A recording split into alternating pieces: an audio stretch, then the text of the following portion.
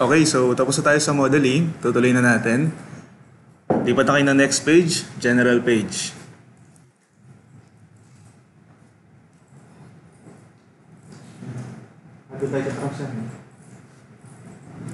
Okay, so sa general page po, meron tayong limang tabs. So, kailangan nyo pong daanan lahat yan. Property, spec, support, loading, material. Wala tayong skip. Okay, kasi usually yung mga nag-self-study lang, ni-skip nila tong spec, ni-skip nila tong material. So, i-explain ko sa inyo isa-isa yan, lahat yan. Okay, so kung dun po sa geometry page, kahit nandun kayo sa beam tab, okay lang, makakapag-model kayo. Sa general page, required na po lahat. Okay, and then isa pa pong kailangan nyo i-take note, hindi na po applicable sa general page yung global axis natin. Hindi nyo na ito susundin. Okay, pang ano lang to, pang modeling lang, pang geometry page lang. Meron tayong tinatawag na local axis, so yun po yung i-introduce ko sa inyo. Uh, before tayo pumunta sa local axis, so simulan muna natin yung property. Dito muna tayo sa truss. Um, paki-open na lang po yung truss ng kahapon.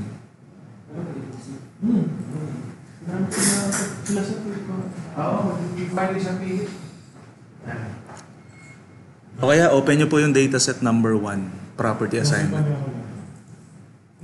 Yun din yun, yung ginawa nyo.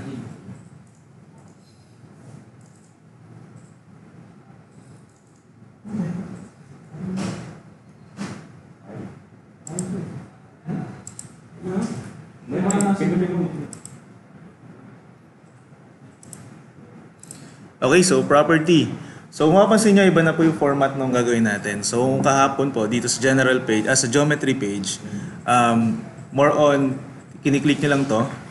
So ngayon, ang gagawin natin, kailangan nyo pong fill upan muna yung table dun sa right side. So nandun po yung properties dialog box. Dito sa right side. Okay? And then yung table po dun sa taas, nakita nyo na yan kahapon, yun po yung uh, beams table. So yung merong node A, node B. So okay lang yan, kahit hindi nyo pansinin yan. Ito importante. Ito yung properties dialog box. And then marami tayong buttons dun sa baba. Ang importante dyan, dalawa lang naman. Uh, actually, tatlong, tatlo lang naman importante dyan. So gagamitin nyo po yung define button kapag concrete. Define button for concrete. Section database for steel.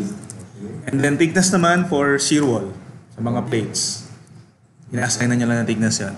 So gagamitin natin sa truss, ito po yung steel natin, section database. Sige pa, pakiclick.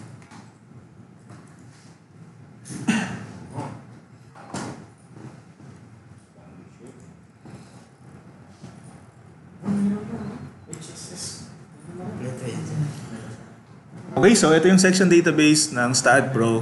Uh, lahat ng latest sa market nandito po.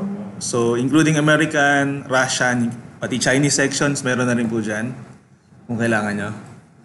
Okay, so meron din tayo for cold form steel, timber, tsaka aluminum. So, gagamitin natin for truss, angle bar. American angle.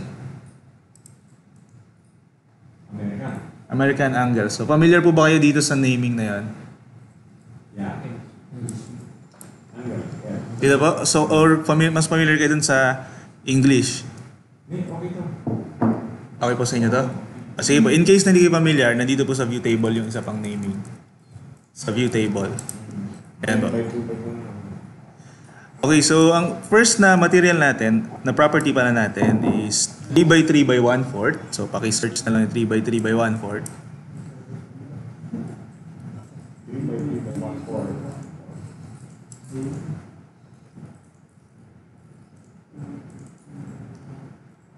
3 by 3 by 1 fourth. So, number 22 po yun dun sa view table. Select lang. Equivalent nun 30304. Ah, sige.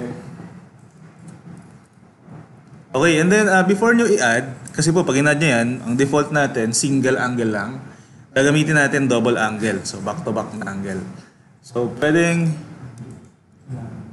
pwedeng LD, gamitin natin.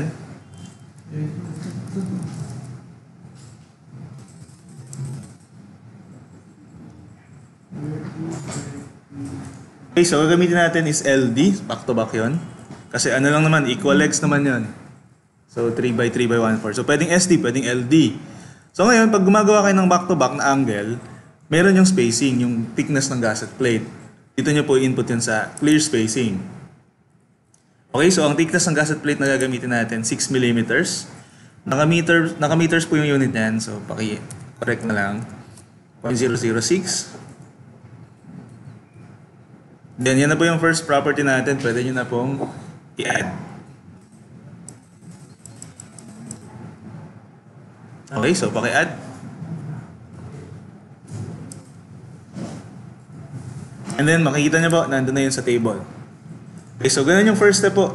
I-create nyo muna lahat ng, lahat ng sections and then later on, i-assign natin dun sa model.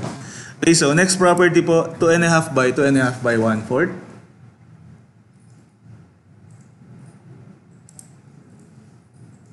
Number 11 po yun sa, sa view table. Equivalent name, 25254. 25254. Okay, then same pa rin po, LD, then 0.006 yung spacing, paki-add. Pag hindi nyo po maklik yung add, click nyo lang ulit yung LD. Then add nyo po. Yan yung property number 2. Okay, then last property, paki-search na lang po 2 by 2 by 1 fourth. Property number 3. Number 3 po yan sa, view table. Okay, then same pa rin LD 0.006. And then paki-add. Okay, so yun lang naman yung gagamitin natin para dito sa trust. Tato lang. Pwede nyo na po i-close yung section database. Okay, so next. I-assign na natin. So, meron tayong apat assignment methods sa baba po. So, lahat yan pwede nyo gamitin kung, kung sanay kayong gamitin yan. Pero ang pinaka-advisable na gamitin po all the time is, ito po, yung first. Assign to selected beams. So, ito lagi yung gagamitin natin. So, magiging process natin or step-by-step process natin dyan, select nyo muna yung property na gusto nyo i-assign. Let's say property 1. And then next step, i-select nyo po yung member kung saan nyo siya i-assign. So, top chord po yun, tsaka bottom chord.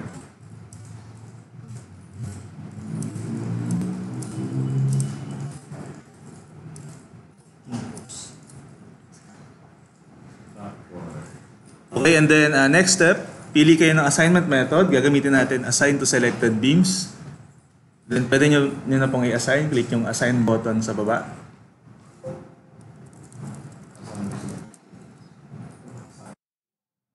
And yes lang po. Proceed.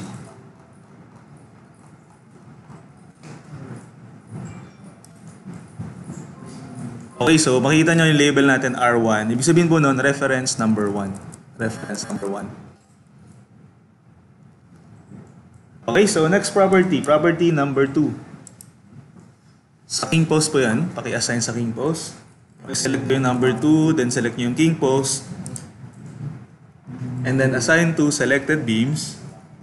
Then assign. And proceed.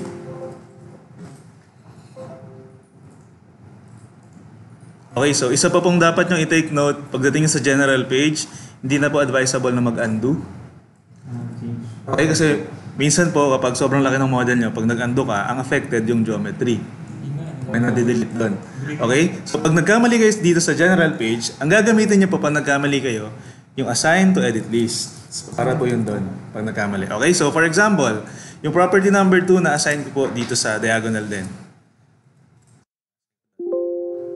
Okay, so ang gagamitin ko, since mali, assign to edit list, tapos alamin nyo yung beam number, 27, tsaka nyo po i-delete dito sa box yung number 27, and then assign. Okay, so in case naman na mara- marami, assign nyo sa marami. For example, uh,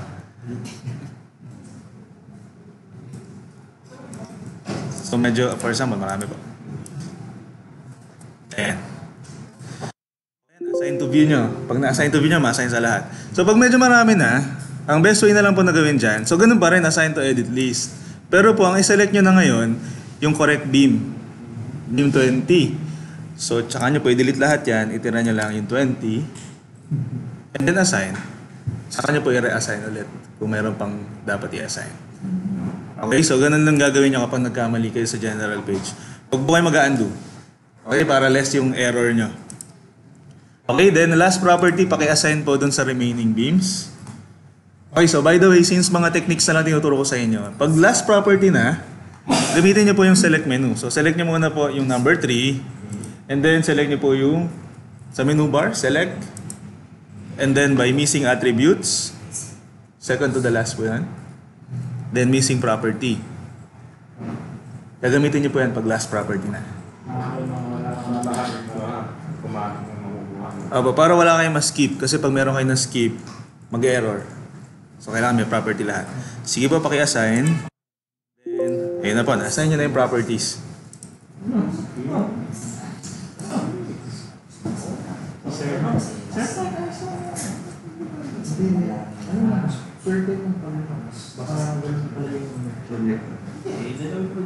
Okay, so kaya lang, hindi pa tayo sure kung tama. Ah, pwede nyo pong i-click yung, so i-click nyo muna po yung model. Click muna kayo dito sa white area. Okay, ah, control 1, wireframe view yan. Control 1. Control 2 naman, full section. And then control 4, wala pong control 3 ah. Control 4, 3D rendering. Pakicheck po yung 3D. Pakicheck po mabuti kung tama.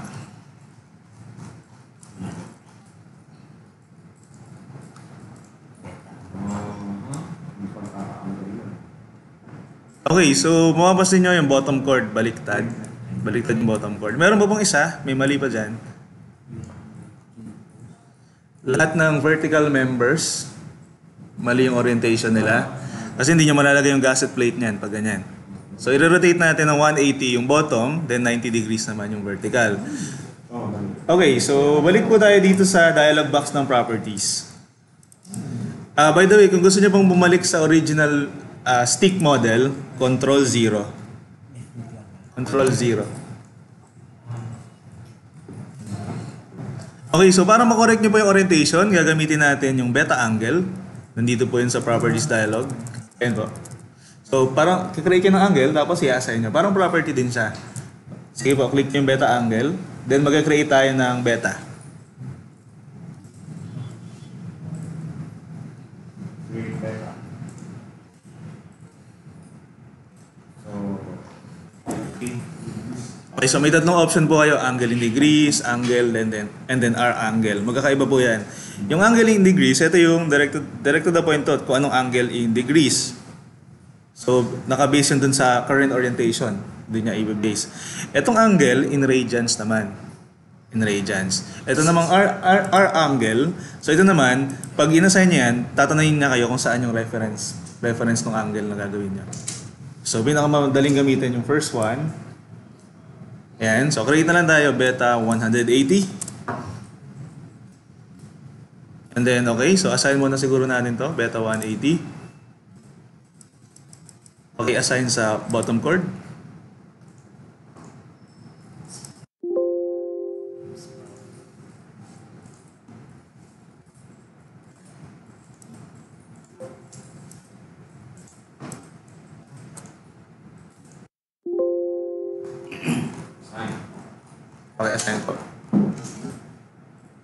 And then create kayo ng next angle beta 90.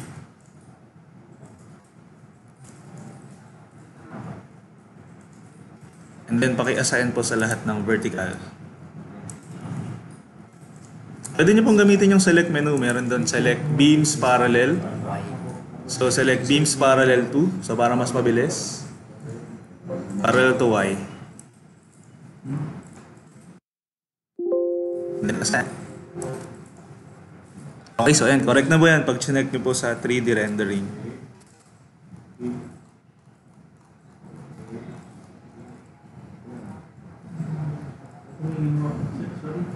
Repeat na lang sa 90. Sa beta 90, so instead of i-select nyo isa-isa, since pare-pareho naman silang vertical or parallel sa Y, pwede nyo pong gamitin yung select menu and then beams parallel to. Parallel to Y. Yung, yung rotation niya, sir, di ba, ah, wala naman tayong sign, sign convention. Rotation ng right handed. Right hand rule lahat, sir. Okay, so yun yung property nung trust natin.